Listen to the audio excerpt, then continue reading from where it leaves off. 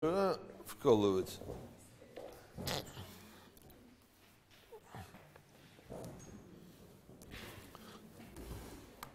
Ну, замечательно. Значит, давайте мы убьем сразу двух зайцев. Значит, один заяц состоит в... Один заяц состоит в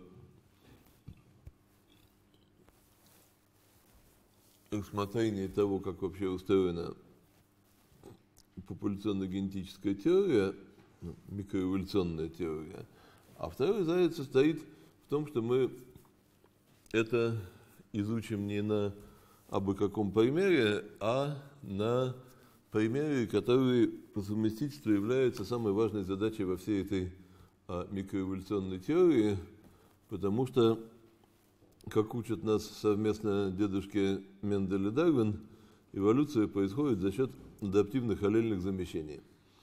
То есть какой-то вариант а, новый и, и значит, исходно редкий вдруг оказывается лучше старого и частого.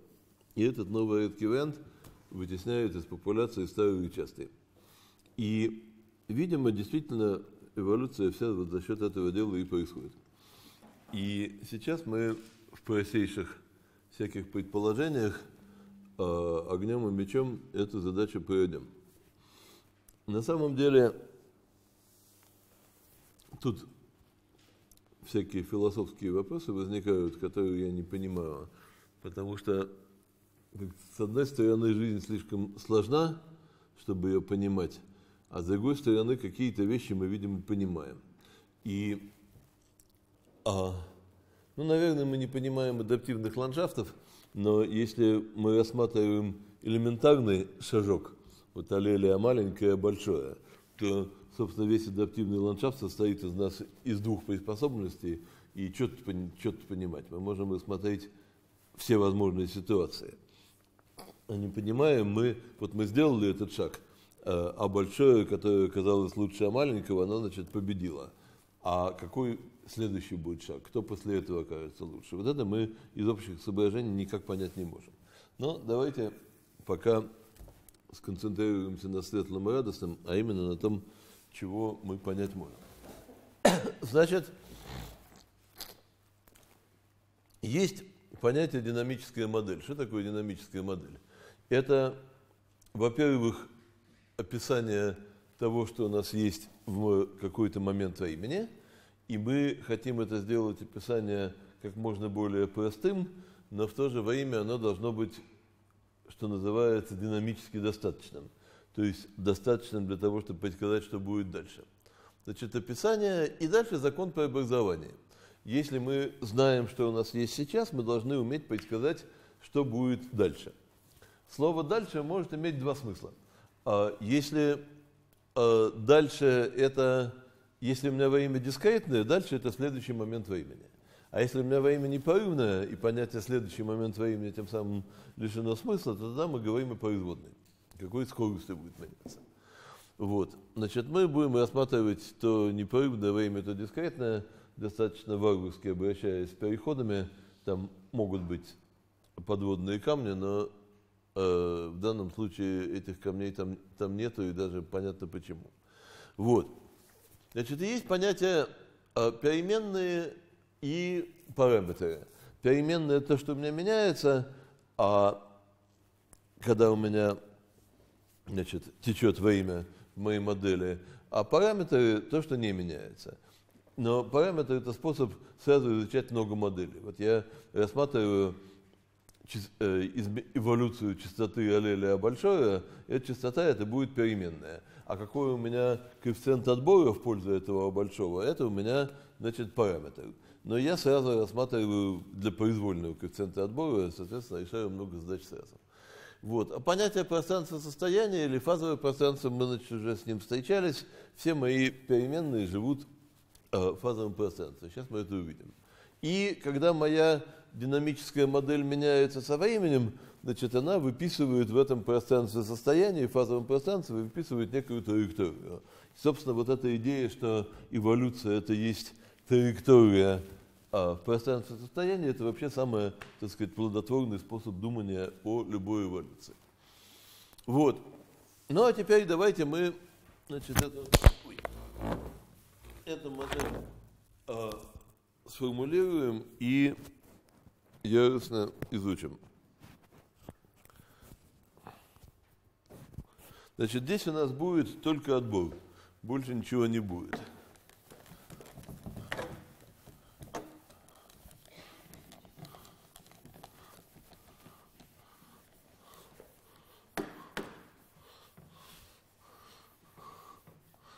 Значит, вот у меня есть а, популяция численностью n особей, и в ней есть генотип, а, в ней есть генотипы А большое и А маленькое. Если я, а, там, не знаю, зеленые и красные, если я а, а большое, то я произвожу W а большое потомков, а если я маленькое, я произвожу W маленькое потомков. Приспособленности традиционно обозначаются буквой а, W. Черт его знает почему. Вот. И пускай у меня дискретные поколения, а, и давайте мы напишем динамическое уравнение на частоту А большого в следующем поколении. Диктуйте. Какая у меня будет частота большого в следующем поколении?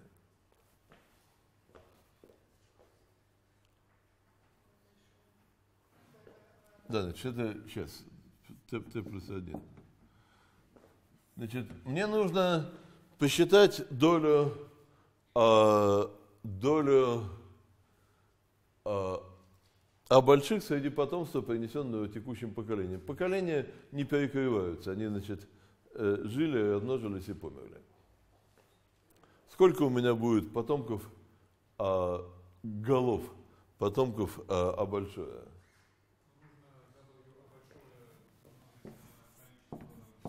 На количество, да, размножение бесполое, значит, на количество мамаша большое. Количество мамаша большое, это будет численность популяции на текущую частоту большого, правильно? И, соответственно, поделить на сумму всех потомков.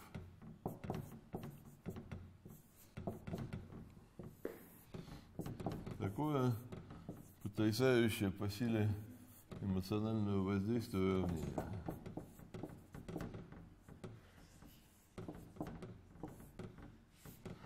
Вот. Тут встречается грустная для меня педагогическая проблема, с которой я ничего не умею сделать численность сокращается, популяции, и больше мы ее никогда не увидим. Но, тем не менее, без численности я не умею это уравнение понятно объяснить. Так просто число потомков а больших, это число всех потомков. И теперь на численность мы выбрали. А то, что численность сокращается, на самом деле очень интересно, потому что мы часто можем изучать э, динамику генетической структуры популяции не очень думаю о том, что делается со всей самой популяцией экологически. Она растет или она убывает, а мне плевать. Меня интересует, как у меня А большое побеждает, побеждает А маленького. И поэтому популяционная генетика и популяционная экология часто бывают расцеплены, ну, как мы видим здесь. Вот. Значит, теперь очень важный момент. Значит, то, что у меня переменных здесь не две, а одна – и я вместо частоты А маленького написал единицами на частота большого, это всем ученым понятно. А исключительно важный момент заключается в том, сколько у меня здесь параметров. Два. Другие есть гипотезы? Два-то их, конечно, два, но не совсем. Ну как их выразишь один через другой? Вот э, а большое производит 7 потомков, а маленькое производит 5 потомков. А кричите громче. Громче кричите. Время у меня дискретное. Вот естественный отбор это, опять-таки, такое, неважно, хороший ты или плохой, важно, ты лучше или хуже.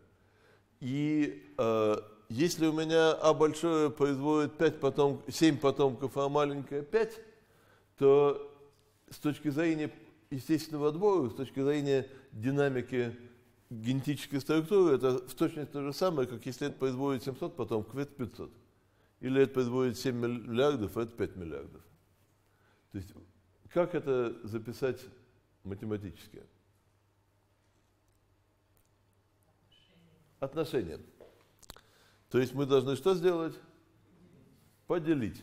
Кого на что? Поделить все на, все на что-нибудь. Например, поделим каждый член на В большое. Тогда эти попадут, а здесь будет их отношение. Вот это вот, поэтому параметров у меня один, а именно отношение приспособленности. Видите, сколько мы сделали открытий, а еще не сделавши ничего.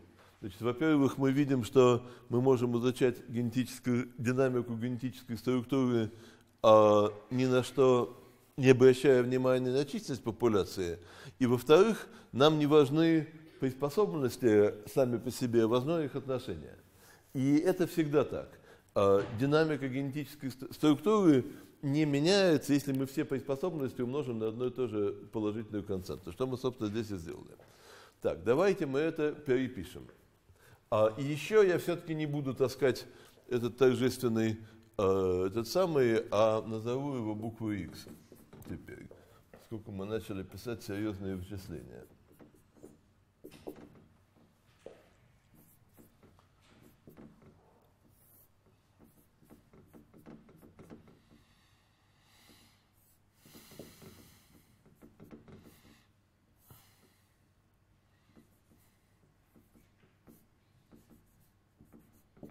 Тут удобно провести вот какую замену параметров.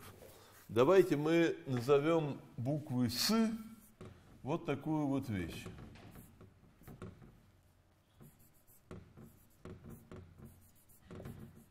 Это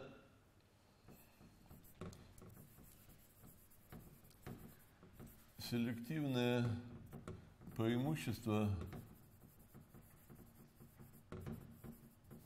аллеля большое.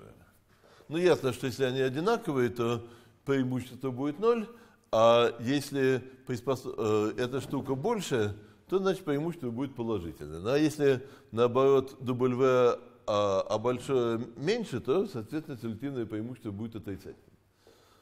Вот. И тогда, соответственно, мы можем записать это Отсюда мы выражаем W отношение приспособленности. Это будет единица минус S. Давайте запишем это через S. Сейчас мы увидим, что от этого будет веселее.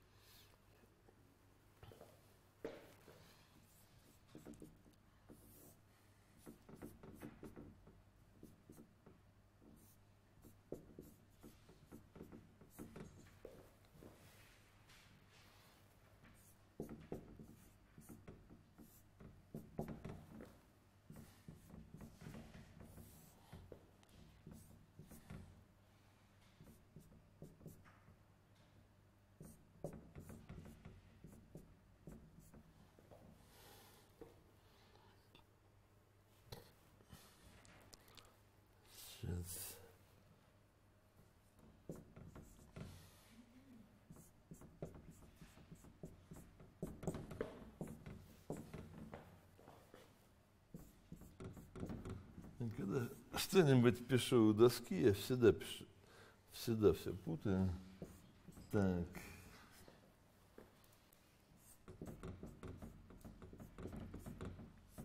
Мы пока еще ничего не сделали, мы просто ввели такое обозначение. Ну-ка, напутал я или нет?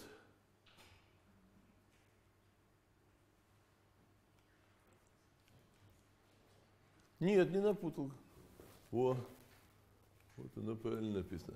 Замечательно. Вот. Значит, а, ну и мы можем это, собственно, так и оставить. Давайте я его, давайте я его здесь оставлю. Но это противное частное, мы можем от него избавиться, считая, что от Бог слабый.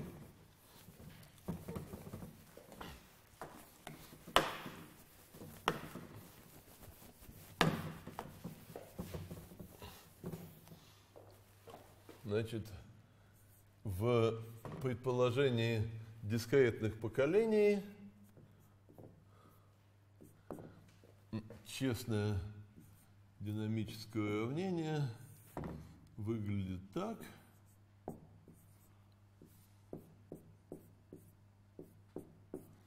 Так оно выглядит, да? Вот.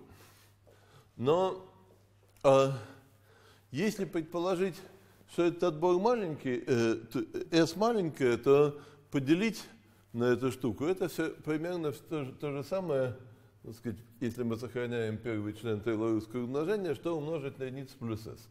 Значит, пусть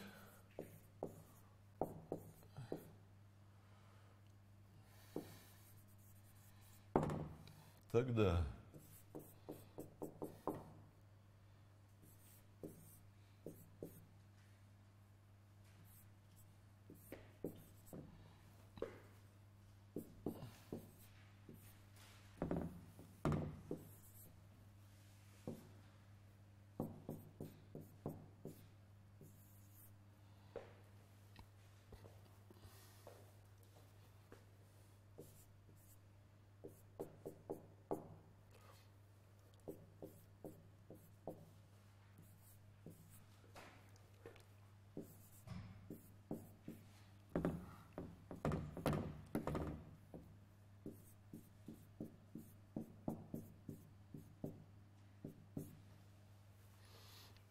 Вот эта штука можно назвать вот. Ну, давайте я буду дальше писать точное равенство, но имеется в виду, что это она на самом деле приближенная, конечно, и верно, только если отбор слабенький. Вот. Значит, вот мы вывели это уравнение – и дальше а, давайте на этом месте не заостряться, а тупо предположим, что теперь у меня время непрерывное. Здесь это не страшно, потому что мы считаем, что отбор слабый и не происходит больших скачков, соответственно, в частоте генотипа из поколения в поколение. Если большие скачки происходят, то а, динамика, одномерная динамика в дискретном времени может совершенно качественно отличаться от одномерной динамики в непрерывном времени. Но в предположении слабого отбора здесь большой беды нет. И тогда, значит, предположение слабого отбора и значит, считая, что время у меня непрерывное, мы получаем вот такое значит, вот дифференциальное уравнение, где S – это а, селективное преимущество аллеля большого, но x значит частота аллеля большого. Вот, значит, это самое главное уравнение в микроэволюционной теории. И я прошу всех об, обратить внимание на то, что это, по сути, то же самое уравнение, которое в математической экологии описывает рост численности популяции, а когда он самолимитируется линейным образом. Это значит то, что называется intrinsic growth rate, а это carrying capacity. Вот, так что одно и то же уравнение – значит, оно нам полезно на все случаи жизни. Вот. Значит, а, да, давайте мы, значит, в основном а, будем рассматривать а, вот это приближение, приближение слабого отбора. А, ну да, видимо, здесь не, не надо тратить много времени.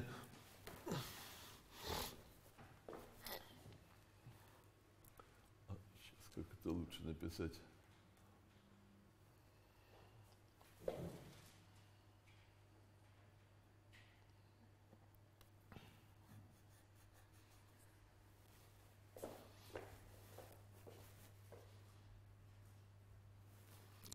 А,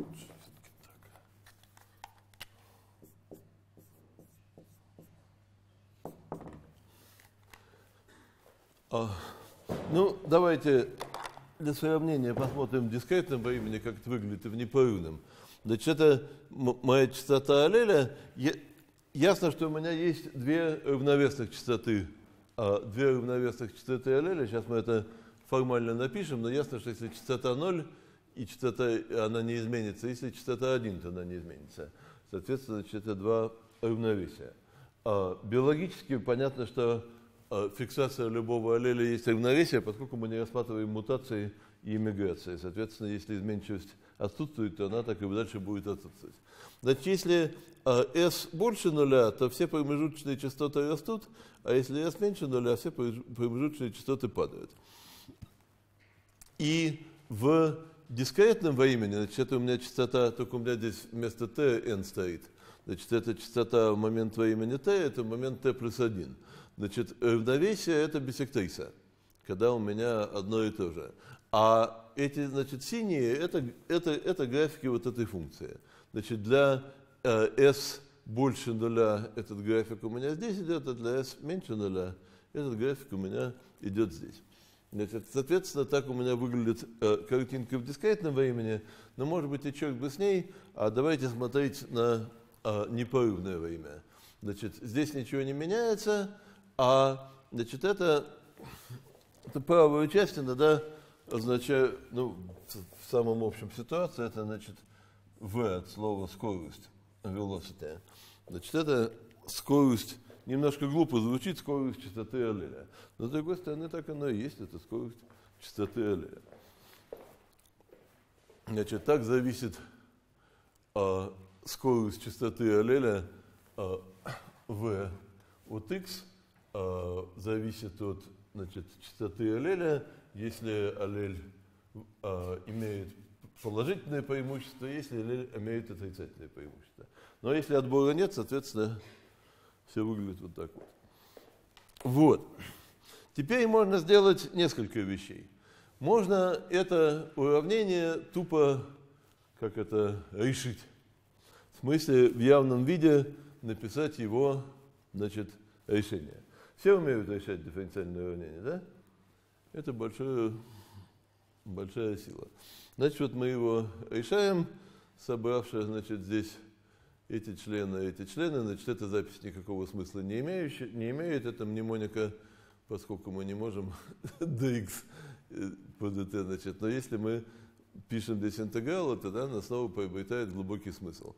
Значит, соответственно, здесь мы вот интегрируем от э, t0 до t, а здесь вот, э, значит, t0 это момент времени, ну, можно написать 0, но пускай будет произвольный начальный момент времени, это нулевое. В этот начальный момент времени у меня была какая-то частота x нулевое. Интегрируем до t, а здесь, значит, это до текущей частоты. Здесь мы пишем какую-нибудь другую переменную, здесь какую-нибудь другую переменную. И, значит, дальше используем потрясающее разложение, что поделить на y умножить на единицу минус y, это будет поделить на y плюс поделить на единицу минус y. Кто не верит, может проверить. И дальше используем потрясающую формулу для вот этого вот интеграла. Вот. И получаем, значит, вот так. В общем, короче говоря, всем все понятно. Замечательно. Вот. И тем самым мы просто тупо это дифференциальное уравнение можем как это решить в квадратурах в явном виде. Это, это, очень, это очень хорошо. А, но на самом деле это редкая удача, и, в общем, никому даром не нужны эти решения в квадратурах, естественно. Но ну, давайте посмотрим тем не менее. Значит, что такое решение а, дифференциального уравнения? Решение дифференциального уравнения – это семейство функций, правильно? Зависящее от начальной частоты.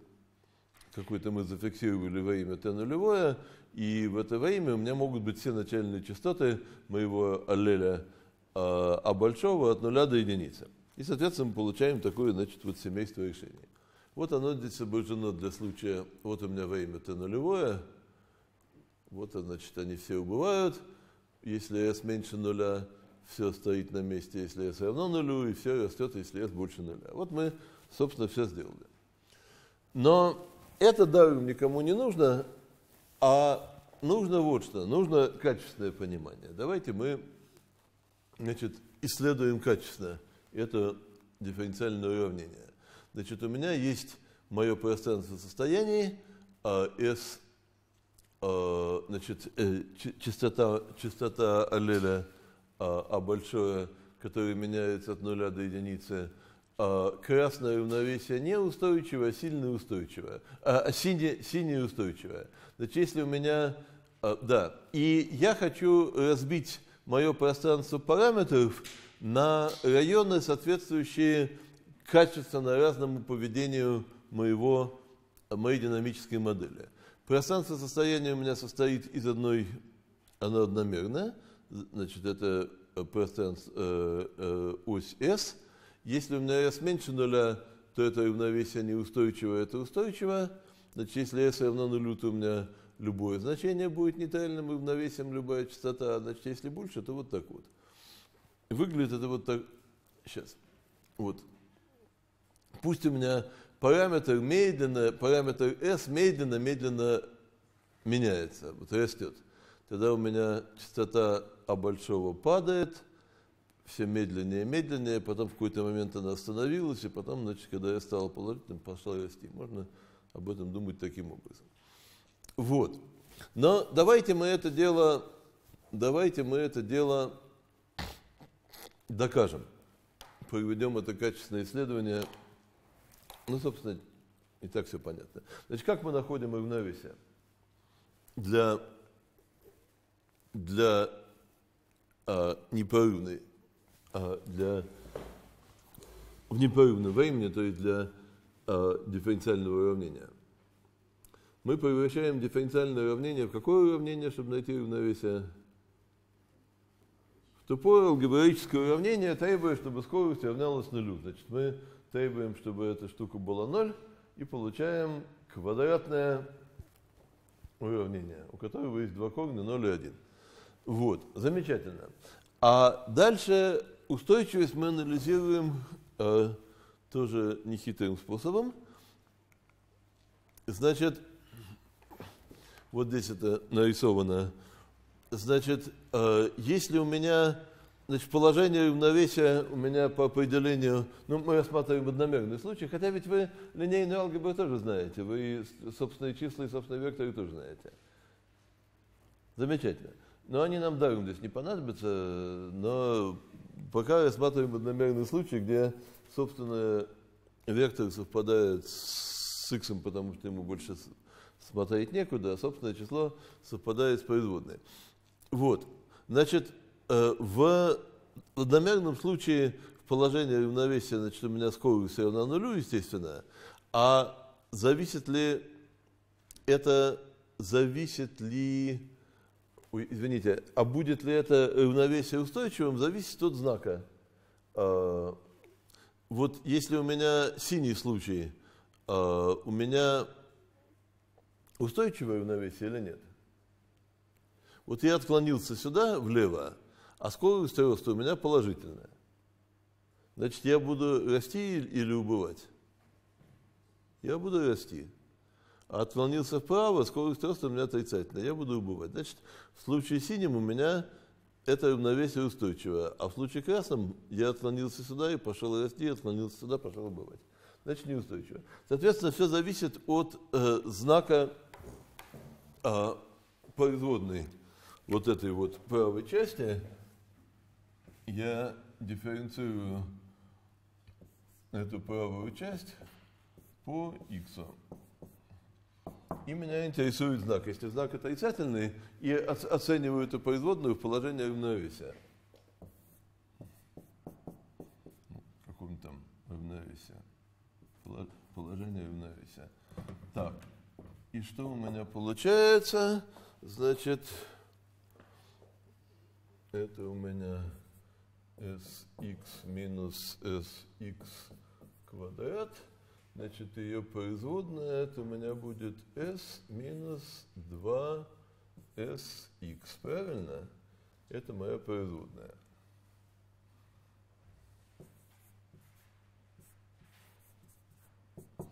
Значит, в положении равновесия 0 у меня, значит,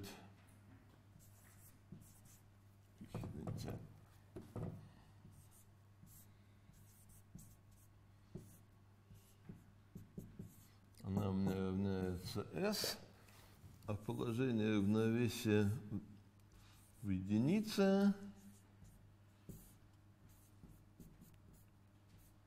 она у меня равняется минус S. Ну и, соответственно, э, соответственно, мы получаем, получаем то, что у нас здесь нарисовано. Значит, если это больше... Ну, в общем, все, все, все понятно, да? Замечательно. Хорошо, значит, мы яростно изучили, яростно нашли равновесие и проанализировали их устойчивости. И получили вот эту вот картинку. И это полное качественное исследование, которое, в отличие от э, написания решения в явном виде, возможно, но тоже не всегда, но так сказать, гораздо более широком диапазоне ситуации, полное качественное исследование возможно. И так сказать, это то, что важно. Но, с другой стороны, если э, можно в явном виде записать решение для такой важной задачи, это тоже, значит, надо ценить. Так, вот. Ну и последнее, мы, значит, это все, что мы делали, это была прямая задача. Вообще говоря, мы можем попытаться решить обратную задачу. Мы видим, как популяции, собственно, из этого же уравнения мы можем выразить S. Кто мне, кто мне запретит? И я вижу, что там за одно поколение частота полезной какой-то мутации увеличилась с 50 а, процентов до 51 процента. Значит, тогда просто тупо подставляя это сюда, мы делаем вывод, что селективное преимущество этой мутации равно 4%. Значит, реально это практически никогда не работает. Э, измерять коэффициент отбора просто по скорости изменения частот аллеля не получается, потому что обычно коэффициенты отбора маленькие, и померить э, частоты аллелей с достаточной точностью, чтобы это имело смысл, мы не можем. Ну, бывают исключения, когда имеет место там ужасная сила отбора, тогда это как-то можно делать. Но, тем не менее, формально говоря, мы можем, э, мы можем сказать, этот подход был Холденом предложен еще в 30-е годы, когда думали, что отбор сильный, и вообще это было золотой век, когда все можно было делать. А на самом деле так, конечно, делать нельзя. Вот. Хорошо. Значит, тем самым мы э, рассмотрели на таком исключительно важном примере э, отбора действующего на всего лишь пару аллелей, рассмотрели, как устроена динамическая теория –